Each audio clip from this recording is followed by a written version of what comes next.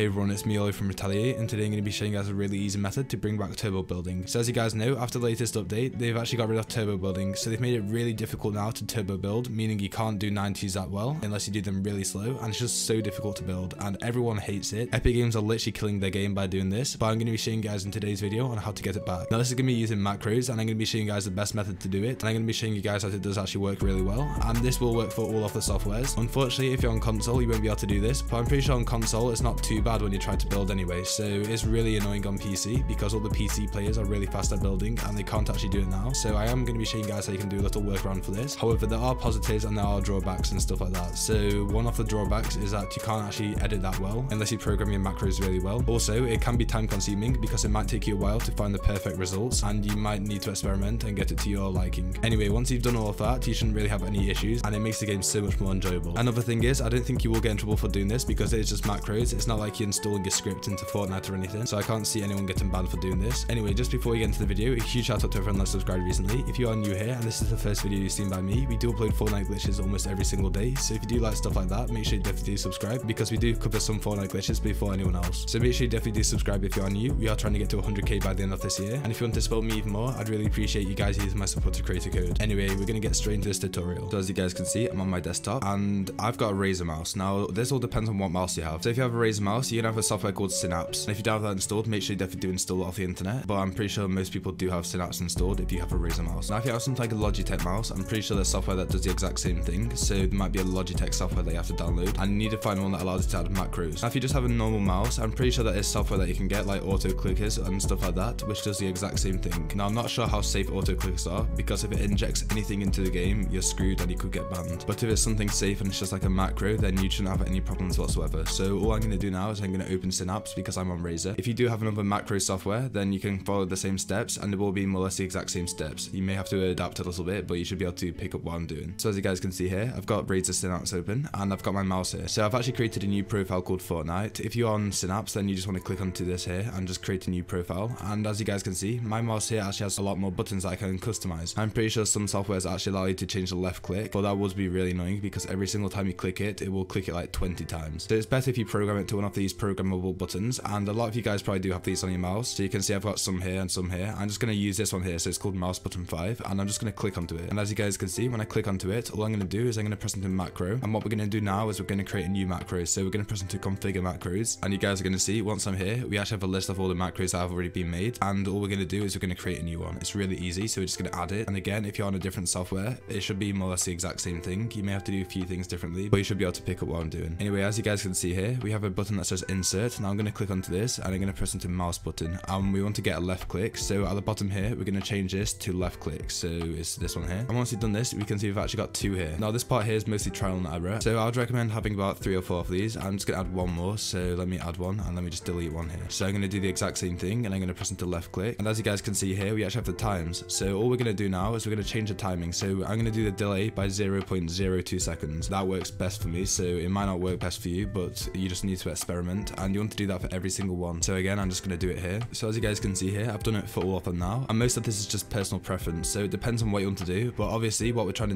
do is to try and make it so instead of having to spam click, it spams click for us. So you can put in a loop now and you can make it so it repeats this over and over. So you can have it so it literally repeats for like 10, 15 seconds. So for 10 or 15 seconds, you don't have to do anything. But that can get a bit annoying when you swap to your guns and stuff like that. So it's obviously not ideal, but I prefer doing that because I don't have to keep on pressing onto the button. So if you do want to do that, all you want to do is go into insert and it will be different on different softwares as I said before, but I'm just going to add a loop. So you can see here, I'm just going to drag this here and I'm going to make it loop about five times. So once you've done this, this is more or less done. You can keep on editing this later on and try and make adjustments to it, but I'm just going to rename it to turbo build. I've already got one called turbo build, so I'm just going to call it turbo build 2. And as you guys can see here, I'm just going to save it. And now we're going to go back to our mouse and we're actually going to change this button again. So we're going to click onto it. We're going to press into macros and we're going to change it to turbo build 2. Now you can have the playback option to once or you can have it so it does it multiple times. I always like doing it multiple times and literally if I type in like 10 or something or even 20 if it lets me, for some reason it's not letting me, I don't know why. So as you guys can see here, I have it so it's going to repeat the same sequence 20 times and obviously this is overkill but I prefer doing this because I don't even play Fortnite that much and when I do build it's normally just in creative just because I'm bored so I'm just going to do this so I don't have to keep on clicking onto the button. So as you guys can see here, we actually have it saved now and I don't know why it says that. I'm just going to test it by clicking here and I'm not actually sure if it's working so yeah as you guys can see here when I'm dragging it you can see it actually is working. So you can see it's clicking tons of times. So if you guys want to test to see how good your macro is, all you need to do is you're going to go on the internet and we want to find something called a speed test or something or a click test. And as you guys can see here, we're actually on a website. There's tons of ones that do this. I'm just going to do it on this one. And you can see here, when you click it normally, it's going to be dead slow. Now I'm actually going to use the auto clicker and you can see how fast it's going up. So it's actually going up insane. And you can see here, I literally got the cheetah award straight away. Now obviously it's still going on and I don't know how to cancel it. I literally just have to wait for it to end. But you can see it's ended now. So mine literally goes on for about 10 seconds, which is kind of annoying. But again, you can program that so it only lasts for 5 seconds and stuff like that. So again, it's just all trial and error. But you can see it goes really fast and it's going to be doing all of this when you're in game. So I will show you what it's like in game right now. So as you guys can see, I'm in game now and I'm going to be showing you guys what the normal 90 looks like. Now just a little disclaimer, I am really bad at Fortnite and I'm really bad at building. I've never practiced, so I'm not good at all at doing 90s, but I will show you what it looks like when I try to do normal 90 because you're going to see for first it is actually normal and then it gets bad over time because they've actually cut it out. So you're going to see it's normal for first and then it cuts out. So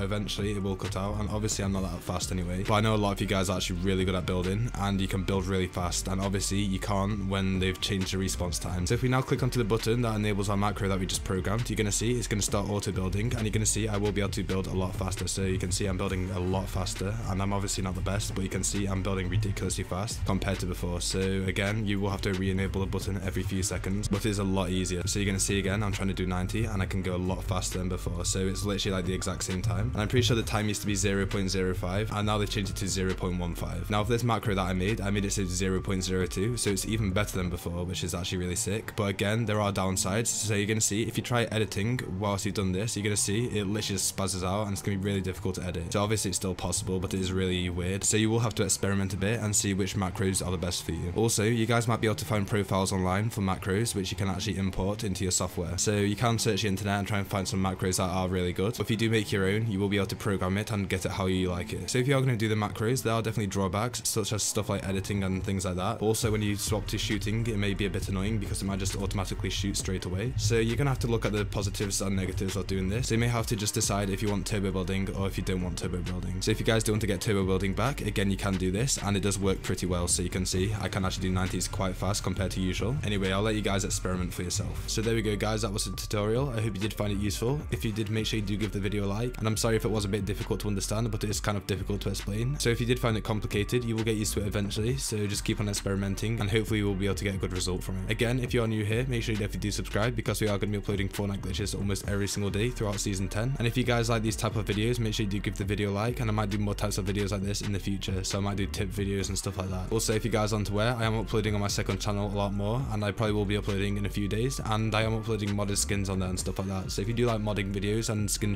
and stuff like that, make sure you definitely do check out that channel because I do upload skins on there that haven't even been shown on YouTube yet. So if you do enjoy stuff like that, there's no reason not to subscribe to that channel. The link of that will be in the description and I'll see you guys in the next one. Goodbye.